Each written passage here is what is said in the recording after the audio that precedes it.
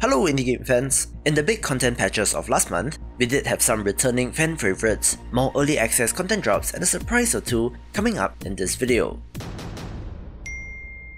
Let's begin with Helltaker Anniversary Update. Probably as self-explanatory as they come, but the free puzzle game that absolutely blew up in popularity, celebrated one year on Steam, releasing a new bonus chapter, so check back in with this. And there's my invitation. Promise I'll fight. Alright, so BloodRayne isn't exactly indie, but this third-person action title from the early 2000s is a fan favourite, releasing the Terminal Cut remaster late last year. But I do think that older games are interesting to go back to, especially for indie game fans. It put out the Ultimate Update, which should be the last significant patch, including balancing changes and feature upgrades that makes this the way to play the game in 2021. Mother of God, what is that? I'm gonna tear her apart.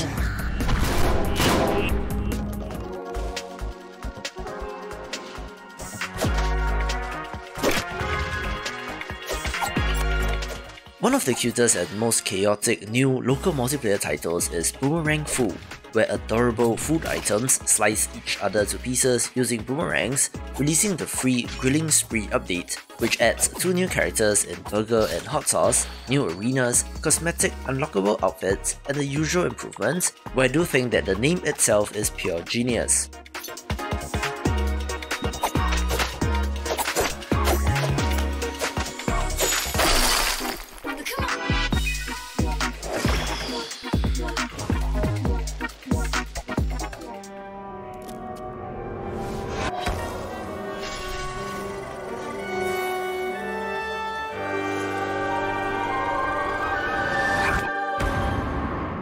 Another month, another appearance for the not-so-indie Don't Starve Together, where even I'm impressed with the consistency of the team in releasing an update almost every single month, where Eye of the Storm was the final chapter of the Return of Them story arc, adding something called the Moonstorm event, although details are scarce, but enjoy the lovely animated trailer as always.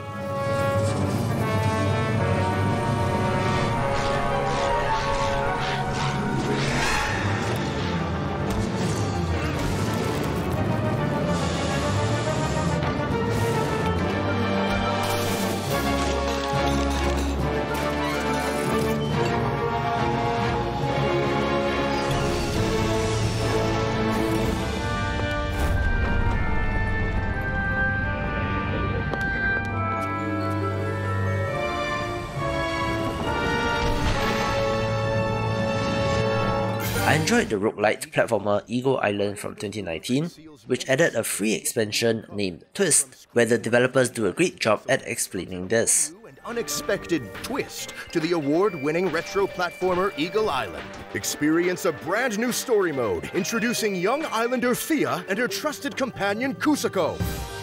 Discover over 45 new handcrafted minigame style levels race to the finish, overcome obstacles, and escape harsh environments with brand new abilities. Face off against bosses with power you've never seen, and restore peace to the island of Yulu. Play your way with an abundance of accessibility and difficulty options to fit your adventure. And the twist? Owners of the original Eagle Island game will receive the Eagle Island Twist update for free! Twice the fun, all in one! Soar and explore in Eagle Island Twist!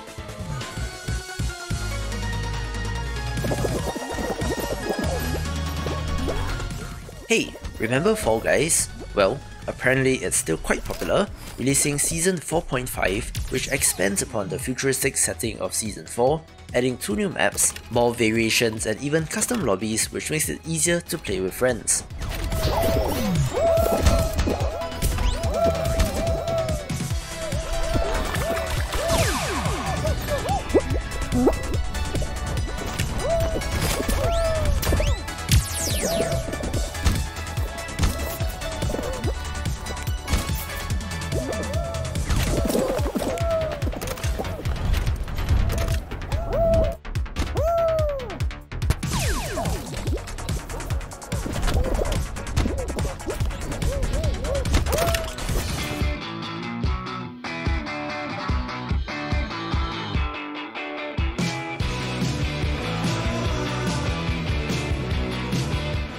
Human Fall Flat continues to churn out content, this time being the forest level from a community creator, where you're exploring the woodlands and there are minecarts, mountains and ravines, where I'm absolutely amazed at how popular this game is, with over 105,000 Steam reviews as of recording, so great job by the team.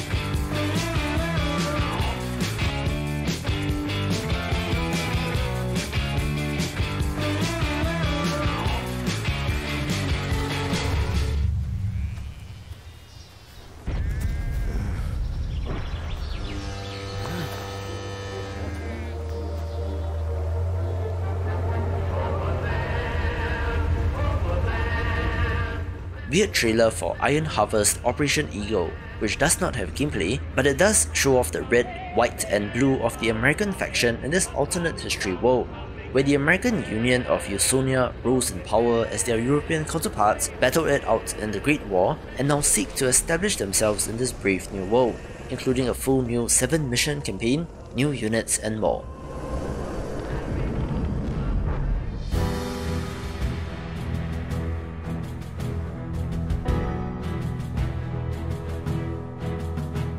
I did enjoy the Norse RTS Northgard from 2018, where they continued to put out additional playable factions, this time being the Clan of the Squirrel.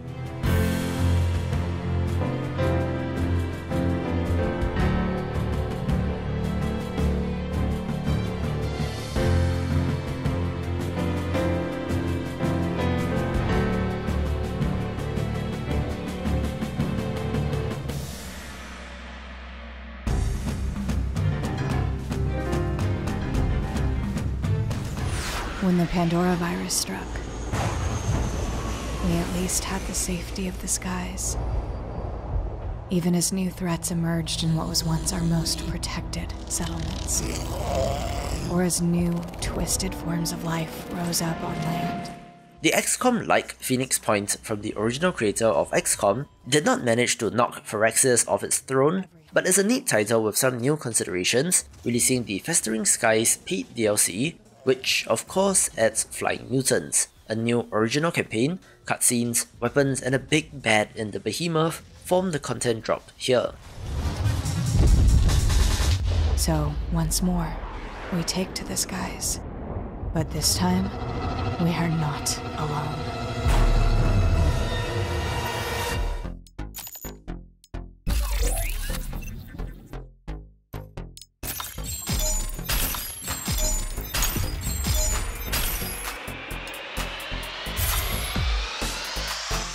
Blink and you'll miss it, but the deck building strategy game, Quantum Protocol did have a crossover with Crosscode, adding some of those characters to the game as playable cards, so I'm guessing that the Crosscode developer is a fan of this game, so if you trust them, check this one out.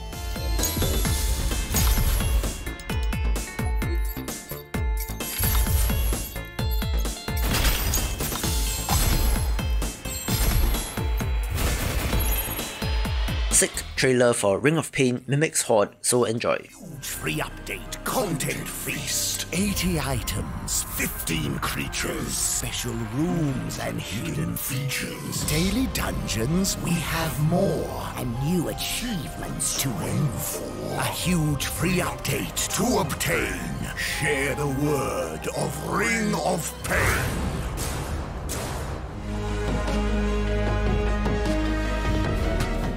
I love Rogue Legacy and its sequel is shaping up nicely in early access with the Drifting Worlds update, where this developer has done a great job with these. We're back to unveil the Drifting Worlds, our third major content release for Rogue Legacy 2. From new features that extend replayability to massive optimization work, we've got a ton of things in store for this update. Chief among them is the opening of the Drift House, a curious dwelling that holds the mysteries of both space and time. There's also a host of new content, including classes, traits, skills, and a brand new biome to explore, the Sun Tower. So let's get to it. The Sun Tower is a deadly region that will test the dexterity of even the most seasoned players. You must hone all of your skills to scale its perilous heights and discover what fuels the sinister world of Rogue Legacy 2. One false step could send a hapless hero plummeting to the depths below. Fortunately, we're introducing two new classes that are more than up to the task. For the Drifting Worlds, we're experimenting with how far we can take things with two radically new classes the Lancer and the Boxer. The Lancer is an unorthodox champion that attacks slowly while retaining hypermobility. Charge up your Dragon Lance and take to the skies. Dip and dive past enemy projectiles in the air, then counterattack with a devastating strike. The thrust is powerful, but you can't be too reckless. A misaimed launch may send you bouncing harmlessly off walls, or into a bed of spikes, a class that pushes the boundaries of the Rogue Legacy mythos, the Boxer is a potent pugilist that likes to get up close and personal.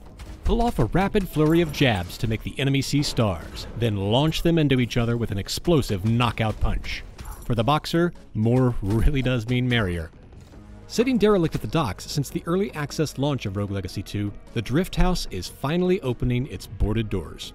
It's currently the home of Charon's chthonic siblings, who each bring their own twist to the Rogue Legacy universe. One of our major goals for Rogue Legacy 2 was to ensure the post-game content was as diverse as the initial playthrough. To fulfill that vision, we're introducing Elpis, the bearer of hope, an enigmatic figure that can transport you back and forth between threads.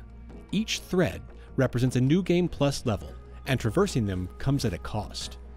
Not only do enemies get harder, but players must change the rules of the world through a new system called Burdens.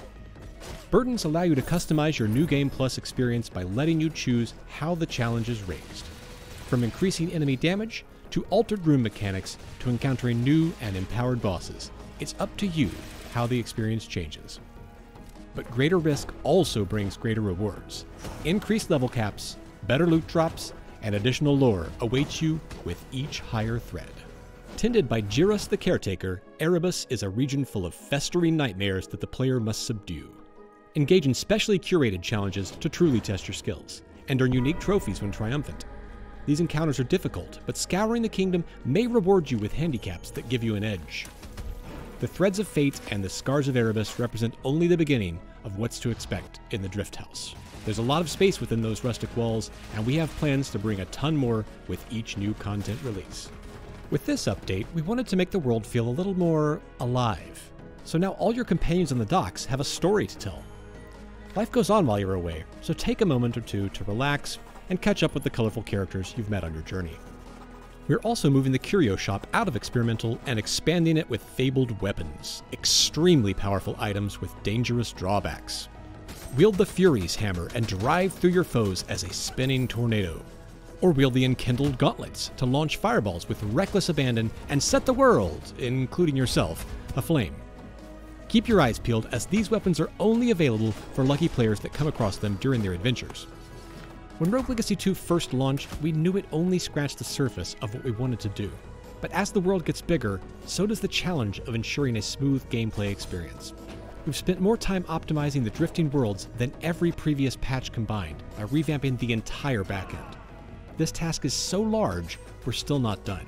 And while our quest for better performance is never ending, we hope players will appreciate the steps we've taken so far.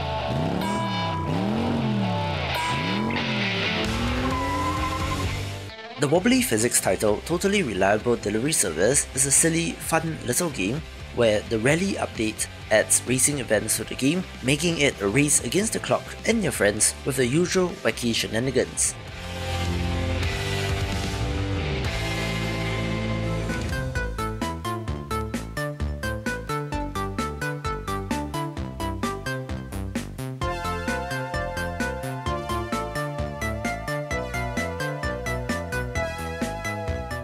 An impressive tycoon game chugging along very nicely in early access is Workers and Resources Soviet Republic, one that I don't see enough people talking about, but has a massive 8000 Steam reviews as of recording, releasing Update 7, which added helicopters, support for underground construction, dynamic weather, wind and solar power stations and more, making it a worthy challenger to city skylines.